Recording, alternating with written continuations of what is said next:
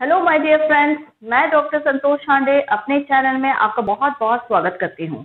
आज हम जो डिस्कस करने जा रहे हैं या मैं आपको जो जानकारी देने जा रही हूँ वो एक बहुत ही उपयोगी जानकारी है और ये है आज़ाद रेस्टा इंडिका के बारे में।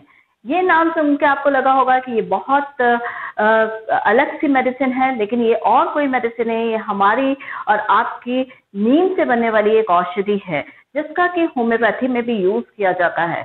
ये जो पेड़ है या वृक्ष है, ये गुणों से भरपूर है। इसके अनलिमिटेड औषधि गुण हैं और इन्हीं गुणों के कारण इसे अपना ध्यान समस्त विश्व की तरफ़ खींचा है। और इसीलिए इसके ऊपर वेरियस स्टडीज़ और रिसर्चेस हुई हैं, जिनसे कि इसके बहुत सारे और भी मेडिसिनल यूजेस सामने आए हैं और जिसका, जिसके कारण इसको आयुर्वेद में तो यूज़ किया ही जाता था। साथ ही में होम्योपैथी में, यूनानी में और मॉडर्न सिस्टम ऑफ़ मेडिसिन में भी इसका यूज़ किया जा रहा है। तो चलिए हम देखते हैं कि किस प्रकार से ये जो है विभिन्न प्रकार के मेडिसिनल गुणों से भरपूर औषधि है। इसका जो यूज़ है, जैसे कि आपको मालूम है, हम प्राचीन काल से, हम भारतीय इसको यूज़ करते आ रहे हैं और इसके बहुत सारे औषधि गुण को पहचानते हैं। जैसे कि पुराने जमाने से इसको ब्लड प्यूरिफिकेशन के लिए यूज़ किया जाता था। आपने सुना होगा कि किसी को अगर फोड़े फुंसी या स्किन के इरप्शन द्वारा होते हैं तो उसको कहा जाता था नीम की पत्तियाँ चबाई जाए, या फिर उसको कहा जाता था कि उसके ऊपर नीम के पत्तों का लेप लगा लिया जाए। तो हम जानते थे कि इसमें औषधि गुण हैं।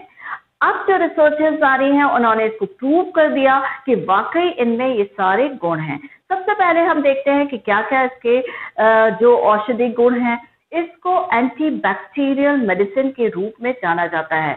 यानी कि ये बैक्टीरिया की ग्रोथ को कम करती है, उनको रोकती है और बैक्टीरिया को पनपने नहीं देती। इसीलिए हम इसका जो यूज़ है, वो प्रिवेंटिव यानी कि रोकने के लिए करते हैं और साथ साथ में ट्रीट करने के लिए भी करते हैं। जैसे कि आपको मालूम है कि बैक्टीरियल इन्फेक्शन स्किन में भी हो सकते हैं, जो बॉयल्स होते हैं कार्बनकल्स होते हैं एप्सोस वगैरह हो जाते हैं, वो सारे के सारे बैक्टीरिया की वजह से होते हैं। या आप जैसे देखेंगे कि सो थ्रोट होता है, इसमें भी बैक्टीरिया का रोल होता है और भी विभिन्न प्रकार की जो बीमारियाँ होती हैं। इसके अलावा ये जो मेडिसिन है, इसमें ये एंटी फंगल के रूप में भी यूज़ की जाती है। यानी आपको मालूम है फंगस भी स्किन को अफेक्ट करती है स्किन पर दांत खाद खुजली इत्यादि पैदा करती है। तो ये जो है रिसर्च और स्टडीज़ बताती हैं कि ये एंटी फंगल मेडिसिन के रूप के रूप में भी इसका यूज़ किया जा सकता है। एंटी वायरल मेडिसिन के रूप में भी ये आ, काफ़ी उपयोगी पाई गई है। इसका जो एक और यूज़ है वो है कि जो हमारा लिवर ऑर्गन है बहुत महत्वपूर्ण ऑर्गन है और ये जो है, बहुत सारे वाइटल फ़ंक्शन करता है। हमारे शरीर के जो जो हम भी टॉक्सिक या हार्मफुल या पॉइजनस सब्सटेंसेस अपने अंदर लेते हैं, उनको डिटॉक्सिफाई करके उनको शरीर को उपयोग के लायक बनाता है। तो इसका जो रोल है, वो है हिपोटो प्रोटेक्टिव यानी कि लिवर का के लिए प्रोटेक्शन का काम कर भी ये आज़ादी रास्ता इंडिका करता है। तो फ्रेंड्स हमने देखा कि इसके क्या क्या औषधि गुण हैं जिसके कारण ये बहुत ज़्यादा पॉपुलर होता जा रहा है। इवन इसमें जो विभिन्न प्रकार के तत्व पाए जाते हैं, जैसे निम्हिन है निम्बोलिजन है लिमोनॉइड्स हैं, ये एंटीऑक्सीडेंट सब्सटेंसेस हैं, या इंग्रेडिएंट्स ये इसके कॉन्स्टिट्यूएंट्स हैं, और यही इसको एंटीऑक्सीडेंट प्रॉपर्टीज़ प्रोवाइड करते हैं। तो ये जो हमारा नीम है अजादी रेस्टा इंडिका है, ये एंटीऑक्सीडेंट की तरह भी काम करता है। यानी जो फ्री रेडिकल्स होते हैं, जो हमारे हेल्दी टिश्यूज को नुकसान पहुंचाते हैं तो उनको पैदा होने से रोकता है ये कम उनकी क्वांटिटी कम करता है जिसकी वजह से हेल्दी टिश्यूज अफेक्ट नहीं हो पाते और हम ज़्यादा अपने आप को यंग महसूस करते हैं या ये एंटी एजिंग इफेक्ट्स भी देता है। ये इन्फ्लेमेशन को कम करता है प्रदाह को कम करता है और इसके कारण हमारे जो टिश्यूज होते हैं उनको नुकसान आ, करने से रोकता है उनका नुकसान होने से रोकता है। इसके अलावा जो ये है, एक बहुत अच्छा यूज़ है इसका, ये ब्लड प्यूरिफायर की तरह काम करता है। रक्त शोध, शोधन करता है या रक्त का शुद्धिकरण करता है। ये जो प्रॉपर्टी है, ये इसको यूनिकनेस देती है इन द मेडिसिनल प्रॉपर्टीज़ तो हम बेसिकली ये देखा कि इसका जो जनरलाइज यूज़ है या फ्रूट फॉर्म में जो यूज़ है या इसके औषधि गुण हैं, वो किस प्रकार से हैं और इन ये औषधि गुणों का खजाना है और इसीलिए इसका वर्ल्ड में डे बाय डे बहुत ज़्यादा यूज़ होता जा रहा है। तो साथ ही में हम इसको होम्योपैथी में जो यूज़ करते हैं, वो ज़्यादातर मदर टिंचर के फॉर्म में यूज़ करते हैं। तो चलिए मैं आपको बताती हूँ कि होम्योपैथिक मदर टिंचर के रूप में जो आज़ाद रिश्ता इंडिका है, वो किस प्रकार से काम करती है, किन रोगों में ये काम करती है। अजादी रश्ता इंडिका बेसिकली जो है, वो फीवर के लिए आमतौर पे दी जाती है।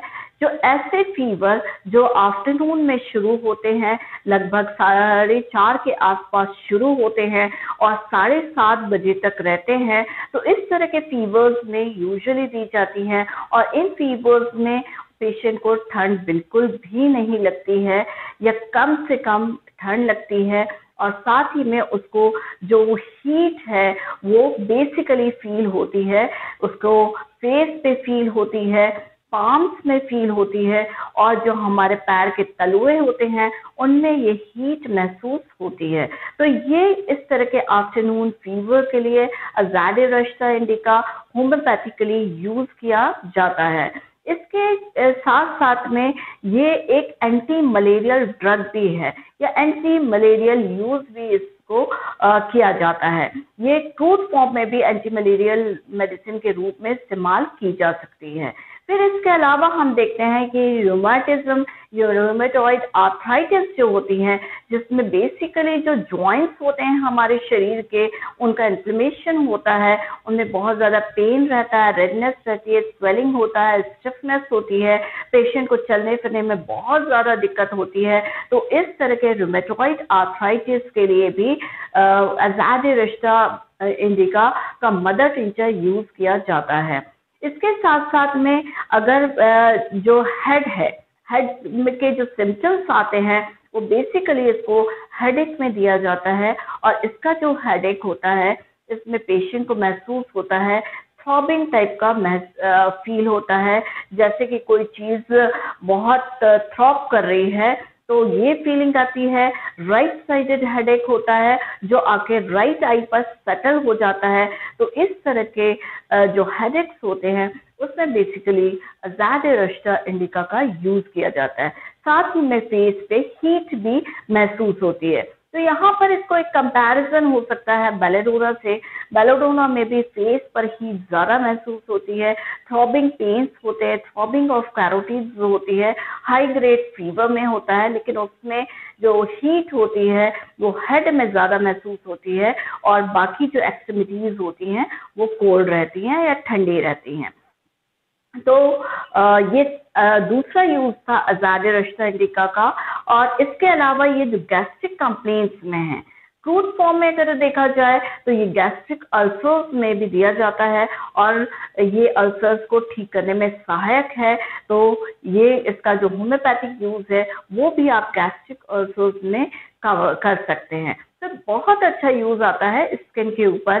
स्किन के ऊपर हमने डिस्कस किया ये एक्नेज में पिंपल्स में बॉयल्स में कार्बनकल्स में एप्सोसिस में ये सारी की सारी जो कंडीशंस हैं, इनमें इसको यूज़ किया जाता है। अगर स्किन पर बहुत ज़्यादा इचिंग हो रही हो रैशेस हो रहे हो और साथ में हीट भी है तो वहाँ पर भी अजाद रिश्ता इंडिका एक बहुत अच्छी मेडिसिन साबित होती है। तो फ्रेंड्स ये मैंने आपको अजाद रिश्ता इंडिका मदर टिंचर के यूजेस बताए हैं और इसकी डोजेस के बारे में मैं आपको बता देती हूँ कि इसका जो 10 से 15 drops one fourth cup of water में आप डाल लीजिए और दिन में तीन बार इसका सेवन करिए तो ये आपको बहुत ज़्यादा फ़ायदा पहुंचाएगी।